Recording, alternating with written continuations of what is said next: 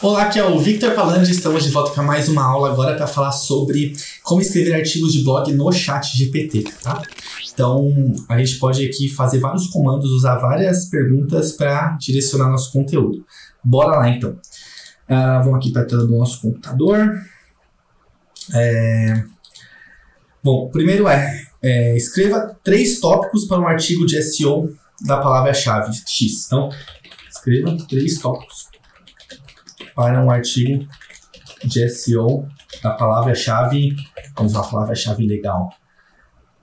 É, vamos ver, vamos ver, vamos ver.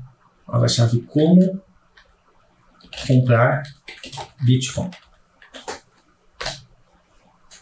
Vamos ver aqui. Introdução ao Bitcoin, o que é, como funciona e por que é uma boa ideia comprar, explicar o que é, discutir as vantagens. Beleza. Então ele vai trazer aqui, ó, explicar as diferenças, incluindo corretoras, escrever as etapas. Bem completinho, né? Muito louco. Beleza. Ah, então a gente faz, escreva um artigo baseado é, nos tópicos acima, com 500 palavras, usando a palavra-chave como comprar Bitcoin. Vamos ver como vai sair isso aí. É, hum, Bitcoin é uma das criptomoedas mais populares do mundo. Você está pensando em comprar Bitcoin, está no lugar certo. Neste artigo, vamos guiá-lo através de um guia passo a passo para iniciantes. Aí usa o tópico, introdução ao Bitcoin. Isso aqui é SEO, tá? Não sei se você é da época do SEO, mas é, é muito importante usar os os, subtítulos, as headlines que são H2. Por quê? No SEO, agora uma aula rápida de SEO enquanto ele escreve aqui. O título, ele é o H1. Então todo texto tem um H1 que é o título mesmo, principal. Dentro do texto, a gente tem o H2, que é o subtítulo, e a gente pode ter vários H2. Dentro dos H2, nós podemos ter H3, que é um subtítulo dentro do subtítulo. Então, por exemplo, é, como comprar Bitcoin é H1, título do texto. Aí depois vem assim, é, comprando Bitcoin em exchanges. Beleza, esse é o H2. Aí no H3 pode ser cada exchange. Então você vai lá e fala Binance. Aí vai ter um texto explicando a Binance. Entendeu? Então a lógica é uma árvore, né? Então, primeiro é como comprar Bitcoin, depois as exchanges que você compra Bitcoin, depois o H3 é cada exchange. Aí quando você muda de tópico, você vira, volta para ser outro H2. Então, é, qual o melhor preço para comprar Bitcoin? É outro H2, porque não tem nada a ver com a exchange, mas ainda tem a ver com comprar Bitcoin. Aí é H2. Aí vem outro H2. E é assim, aí você vai montando um texto que ele é bem estruturado, bem dividido e fácil de dar leitura dinâmica. É assim que o Google gosta. Esse é um dos principais pontos do SEO, tá? Aqui, ele escreveu o textão.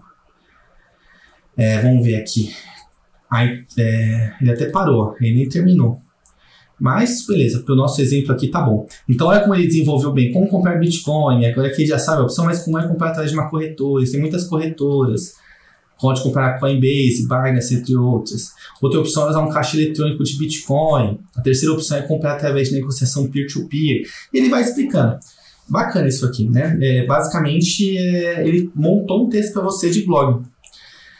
Então, você também pode, por exemplo, pedir para ele é, 10 ideias de artigos para blog sobre Bitcoin.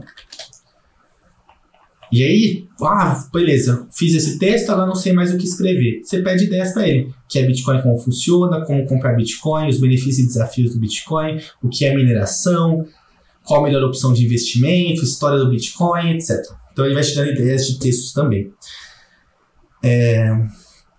Aí você pode falar para ele assim: é, crie títulos de artigos de blog com base nas suas ideias.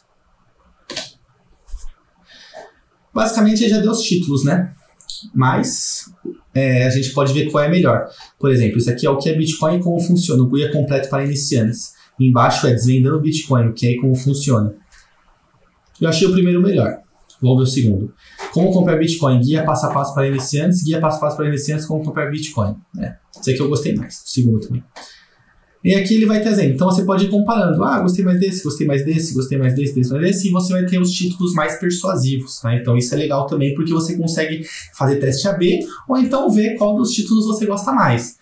E para títulos, eu acho que realmente é melhor fazer no chat GPT mesmo, porque não é nada assim muito genial, né? Se você pedir para ele vários títulos, algum vai ser do seu agrado, vai ser muito bom. Então eu não acho que é uma coisa assim que, nossa, é muito difícil de fazer. É muito fácil. É... Então, aqui, a gente pode falar isso aqui também. Ó. Escreva como um expert de SEO, usando uma linguagem formal. É... Sobre a palavra-chave. Ah, deixa eu ver. Bitcoin a 100 mil dólares. Vamos deixar mais difícil para ele. 100 mil. Um, beleza. Vamos ver o que, que vai sair. O Bitcoin tem sido um assunto em alta nos últimos anos. Uma das mais recentes notícias tem chamado a atenção é a possibilidade do Bitcoin atingir a marca de 100 mil dólares. Essa previsão é baseada em diversos fatores. Ah, beleza. Vamos esperar então ver o que, que vai sair daí. Mas percebe como você pode jogar qualquer assunto e desenvolve texto? Então, hoje está sendo muito utilizado para criar artigos de blog. Aí, é, aí entra uma discussão ética até, né, certo ponto. Vale a pena fazer todos os artigos de blog hoje em dia inteligência artificial? Os textos são bons? É, eles ranqueiam tão bem quanto um artigo escrito por um ser humano? O Google consegue identificar? É, as pessoas que escrevem texto para blog agora elas vão perder os empregos, então tá tendo assim um alvoroço até mais do que no mundo da copy. Porque texto para blog e copy, eles têm uma certa, eles são como primos, né? Um artigo de blog pode ter copy, mas não necessariamente é uma copy. Às vezes pode ser um artigo só informativo. Então pode ser copy, pode não ser. Você pode indicar produtos lá ou não, pode ser apenas jornalístico. Então assim, são mundos próximos, mas diferentes. Então, assim, copywriter tem a discussão se vai substituir e tal, não sei o quê, mas redator de blog, com a, com a ferramenta dessa que escreve até otimizado para SEO, realmente está mais preocupante, está mais perigoso. Né? Então, vamos ver os próximos capítulos. Mas aqui ele escreveu um texto. Não teve H2, ó, então ficou faltando o H2, mas é, o artigo ficou bem escrito, tá? Então dá para você ir pedindo, né? É, para incluir tópicos, inclua tópicos, né? Igual a gente fez aqui. Aqui, esse aqui tem, ó, porque a gente pediu para ele criar os tópicos antes. E a partir dos tópicos a gente pediu o artigo. Então, às vezes, não adianta ser ansioso, às vezes compensa você, é, você ir desenvolvendo com a ferramenta. Escreva o primeiro parágrafo, escreva o segundo parágrafo, refaça o segundo parágrafo com paciência e cautela, porque ele vai ficando melhor, tá? Então, não tenha preguiça, não tenha pressa e não tenha medo de conversar com o robô. Vai conversando, fala assim: olha, achei o último parágrafo ruim. Vamos ver.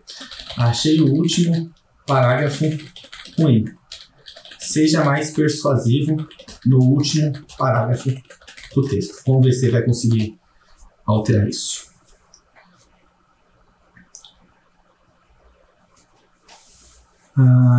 Com potencial de alcançar a marca de 100 mil dólares, investir em Bitcoin pode ser uma estratégia de investimento lucrativa e emocionante.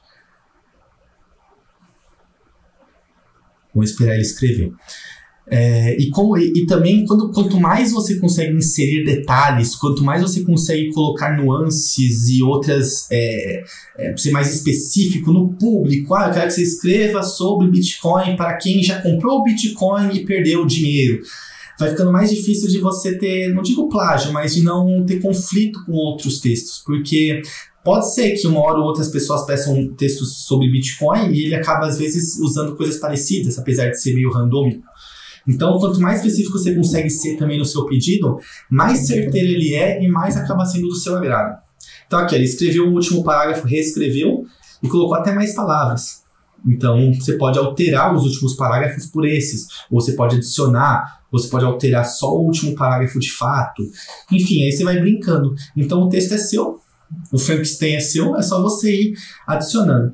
É, eles podem falar assim: é, indique o meu curso de Bitcoin no fim do artigo. Ele vai lá e indica, entendeu? Então, é, é uma ferramenta que vai ser muito útil para você cada vez mais tornar o seu blog persuasivo, mais ativo, ou então se você trabalha com clientes, você pode escrever mais artigos para os seus clientes usando a ferramenta e colocando o seu toque pessoal. Porque se você fizer 100% na ferramenta, ele pode uma hora pensar assim, pô, mas aí eu mesmo faço. Agora, se você conseguir ser diferenciar, ser persuasivo, ou então você pega o texto e você reescreve de um jeito que, que fica mais com a sua cara, ou que dá um toque mais no seu DNA, percebe que você está usando a ferramenta a seu favor, mas também não é ela que está fazendo todo o trabalho. Então é interessante brincar com isso aí e explorar todo o potencial que essas ferramentas nos dão, beleza? Todo o potencial que elas têm aí para estar tá nos ajudando. Qualquer dúvida é só falar, estou à disposição. Um forte abraço e até o próximo vídeo. Tchau, tchau.